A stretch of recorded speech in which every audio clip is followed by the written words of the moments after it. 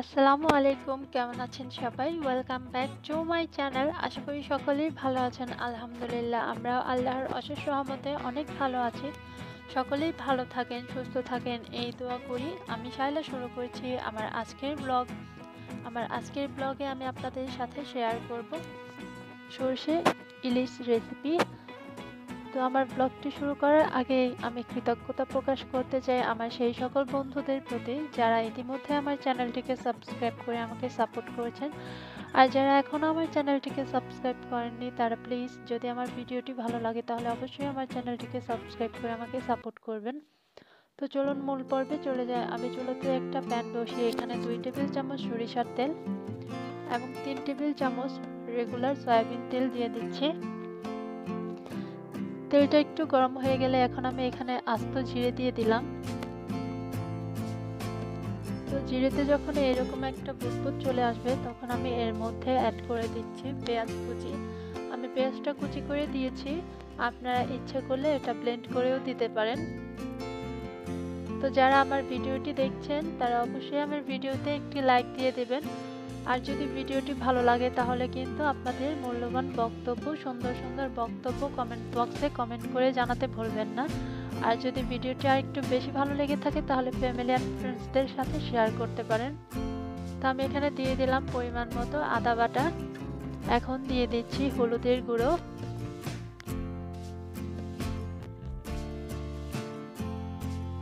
আর add করে দিলাম মরিচের গুঁড়ো।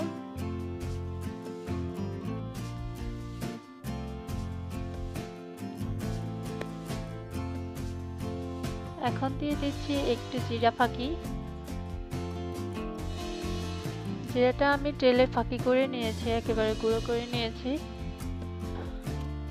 তো একটা বিষয় খেয়াল রাখবেন, ইলিশ মাছের রেসিপি করতে গেলে আপনারা মশলাটা একটু কম ইউজ করার চেষ্টা করবেন। যদি মশলাটা বেশি দেওয়া হয় তাহলে কিন্তু ইলিশ মাছের যে নিজস্ব একটা ফ্লেভার আছে সেটা কিন্তু চলে যায়।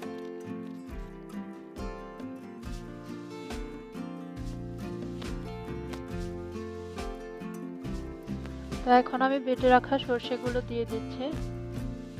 দিয়ে আমি ভালো করে মশলার সাথে কষিয়ে নেব।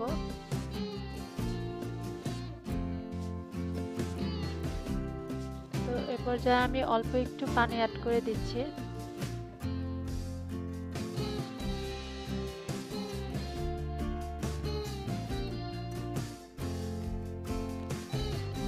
দিয়ে দিচ্ছি পরিমাণ মতো লবণ।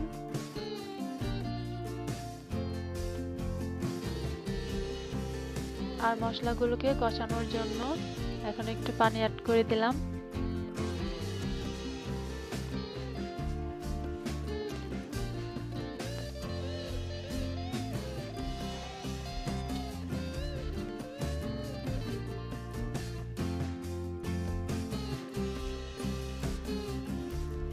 সামনেই কিন্তু আসছে পয়লা বৈশাখ। আপনারা কিন্তু আপনাদের খাবার মেনুতে নানা রকম ইলিশ মাছের রেসিপি রাখবেন। তো আপনারা কিন্তু ইচ্ছে করলে এই সর্ষে ইলিশটার রেসিপিও রাখতে পারেন।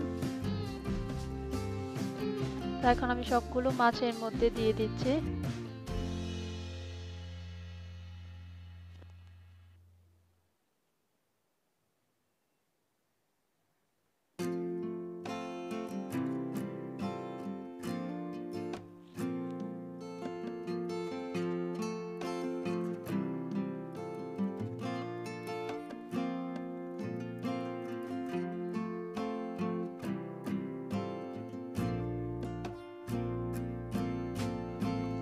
এখন আমি এগুলোকে ঢাকনা দিয়ে ঢেকে পাঁচ মিনিট রান্না করব।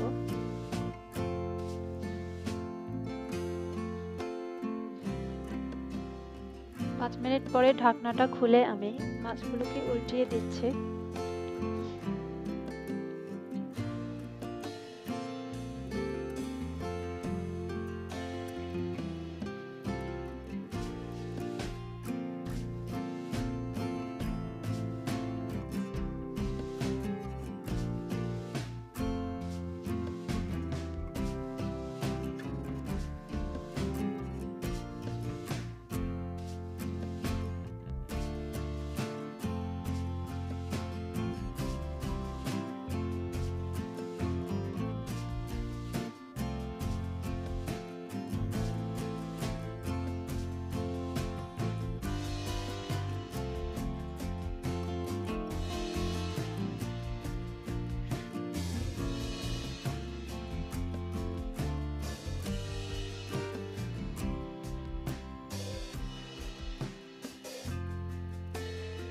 আমার সবগুলো মাছ উল্টিয়ে নেওয়া হয়ে গেছে। এখন এই পর্যায়ে আমি মাছগুলো কষানোর জন্য পরিমাণ মতো পানি অ্যাড করে দিলাম।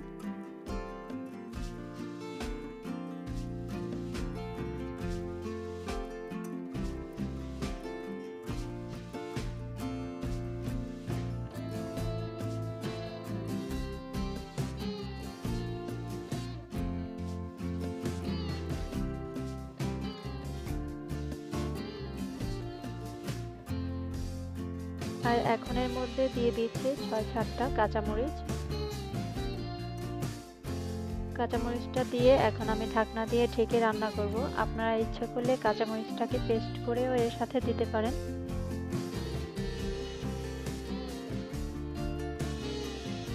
তো এই সর্ষে ইলিশের রেসিপিটা কিন্তু শুধু সাদা ভাতের সাথেও নয়, আপনারা ইচ্ছে করলে এটাকে খিচুড়ি বা পোলাওয়ের সাথেও খেতে পারেন। এখন আমি পানিগুলো শুকানো পর্যন্ত অপেক্ষা করব।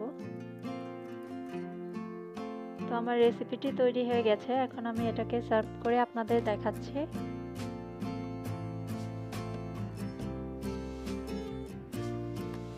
আশা করছি আমার আজকের ভিডিওটি আপনাদের সবার কাছে ভালো লাগবে। ভালো লাগলে অবশ্যই একটি লাইক দিবেন।